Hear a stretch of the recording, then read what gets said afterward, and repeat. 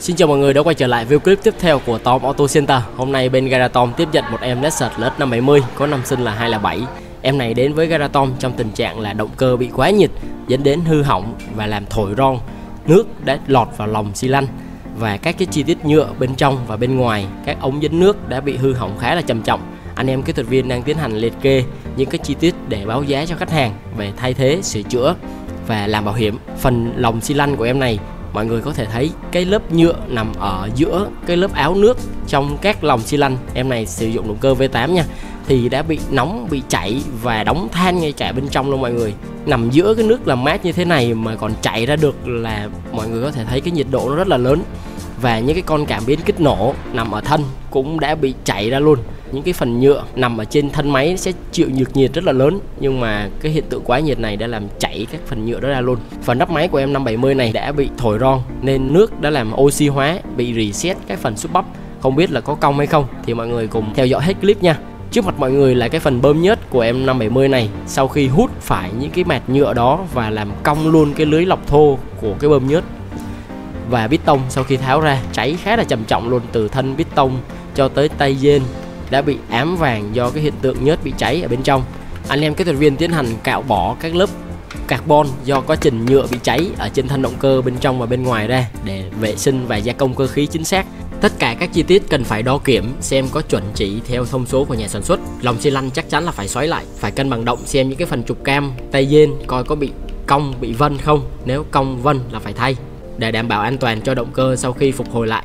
Vệ sinh các lớp mụi tham đó xong thì tiến hành gia công cơ khí Tất cả các thông số đều phải nằm trong tiêu chuẩn của nhà sản xuất để khi lắp ráp các chi tiết lại như ban đầu, động cơ nổ tròn máy và êm hơn.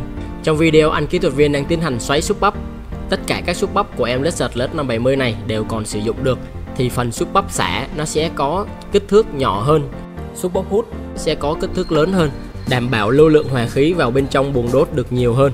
Bởi vì khối động cơ của em Lexus LS 570 này tới 8 xi lanh nên phần cốt máy cũng khá là lớn. Sau khi gia công cơ khí chính xác xong thì tất cả các chi tiết của phần động cơ đều được quấn ni lông lại đảm bảo hạn chế được lượng bụi đưa vào bên trong động cơ. Phần bạc lót cốt máy mới cũng đã được đặt về chính hãng. Phần bạc biên này nó sẽ giúp cho cái độ rơ ngang của cái phần cốt máy được đảm bảo trong thông số cho phép của nhà sản xuất. Đặc biệt trong quá trình đại tu động cơ, phần gia công cơ khí chính xác rất là quan trọng và cái phần bạc đồ mới cũng rất là quan trọng để khi mà lắp lên, các chi tiết phải vừa khít với nhau và khi vận hành, nhiệt lượng tỏa ra làm độ giãn của kim loại phù hợp, tránh trường hợp động cơ bị bó bạc khi chạy với tốc độ cao. Và khi đại tu động cơ, việc quan trọng tiếp theo đó là cần phải siết đúng lực. Theo như nhà sản xuất và những động cơ đã được tháo rã ra thì cần phải siết thêm một góc khoảng 90 độ với khối động cơ của Lexus LS 570 này thì cái phần bợ của cốt máy nó tới 6 con bù lon lại mọi người. Tại vì để chịu được cái sức nén của phần xi lanh thì phần bợ phải được liên kết chặt chẽ với phần lốc máy.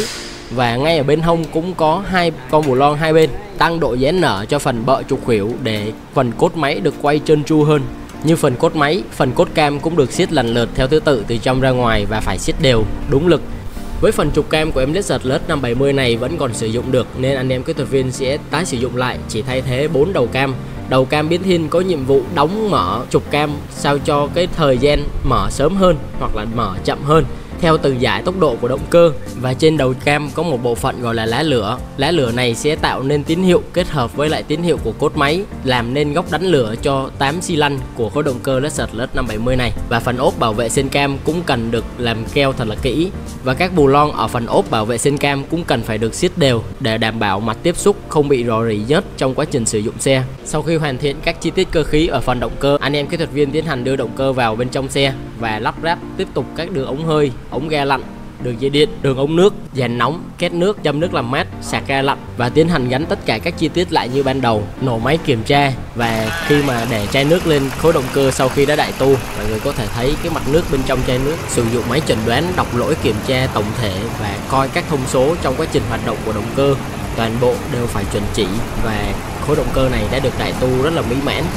Và tiếp theo anh em kỹ thuật viên sẽ tiến hành đưa xe lên cầu kiểm tra lại các cái phần ốp gầm, các chi tiết đã tháo lắp một lần cuối cùng trước khi chạy thử và giao đến tay khách hàng. Toàn bộ phụ tùng để đại tu khối động cơ của M570 này bên Garatom sử dụng là đồ chính hãng và chắc chắn là sẽ có bảo hành. Các dung dịch chất lỏng như nước làm mát, nhớt bên Garatom sử dụng nhập khẩu từ Mỹ.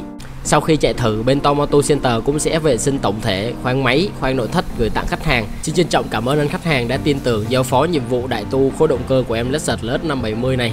Xin chúc anh thật nhiều sức khỏe và kỷ niệm tiếp tục trải nghiệm trên em Desert LS 570. Nếu quý anh chị nào có nhu cầu sửa chữa, bảo dưỡng, làm đẹp chiếc xe yêu quý của mình, hãy liên hệ ngay hotline bên dưới 0919 303 101 hoặc quý anh chị có thể trực tiếp đến đại lý của Tom Auto Center ở địa chỉ 537 Sẹc 3 Nguyễn Oanh, phường 17, quận Gò Vấp để đội ngũ tư vấn báo giá chi tiết hơn cho quý anh chị.